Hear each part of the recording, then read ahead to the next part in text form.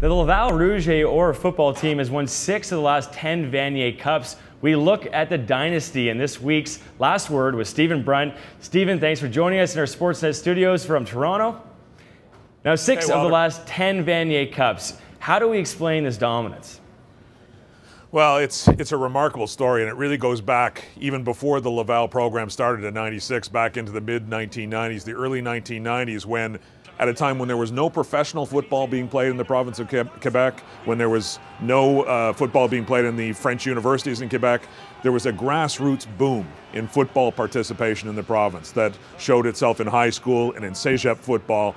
And Laval started this program in 96, more than 20 years after all of the other French universities had bailed out of football and took advantage of that unbelievable wealth of talent and then put a bunch of money on top of that talent and became the dominant, the dominant football program, college football program in Canada.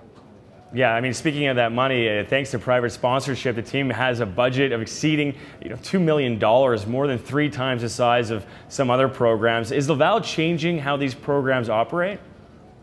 Well, it certainly threw down. They threw down the gauntlet to everybody else in Canada because you know that kind of money they're not it's not about scholarships it's not about the players being rewarded it's more about the things you can do around a program the kind of facilities you can build the kind of a coaching staff you can build the technical stuff around a, a program. Laval had the ability to do that with all of that private cash and other universities in order to compete with laval and they're still struggling to compete with laval really had to try and do the same thing. If you go to a place like the university of western ontario western they've tried to build that kind of a football infrastructure, but honestly, everybody else is still lagging behind the Rouge Or. Yeah, speaking of you know English schools like Western, you know in recent years we've seen French schools like Laval, Sherbrooke, and Montreal regularly finishing in the top half of the division, and then the English schools like McGill, Concordia, Bishops, you know they finish in the bottom. Why hasn't the English side been able to keep pace? Well, I, again, I think it's I think it's the supply of talent. It's where if, if you're a French-speaking football player in the province of Quebec and you want to be educated in French uh, and continue to play the game at a high level, you're going to go to Sherbrooke, you're going to go to Mon- University of Montreal, you're going to go to Laval. You're not going to go to one of those English schools, and those English schools, meanwhile, are competing against every other university in Canada.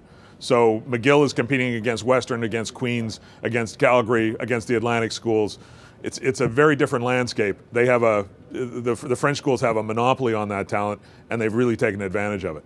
Now, earlier this month, Laval drew almost 15,000 fans for the Dunsmore Cup. Does attendance like that, you know, pique CFL's interest? I, I think they have been interested in Quebec, although I think there's a couple of factors. They don't want to wreck what the Alouettes have going in Montreal. They don't want to divide that French market uh, and hurt the Alouettes in any way. And I, I think that they would look at the same issues that the NHL looks at when they go into Quebec. It's a government town. There's not a lot of businesses that might support a team by buying private boxes, for instance.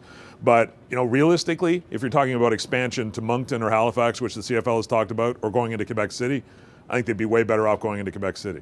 All right, Stephen, thanks for your insight on all this, and we'll see you next week. Thanks, Wilder.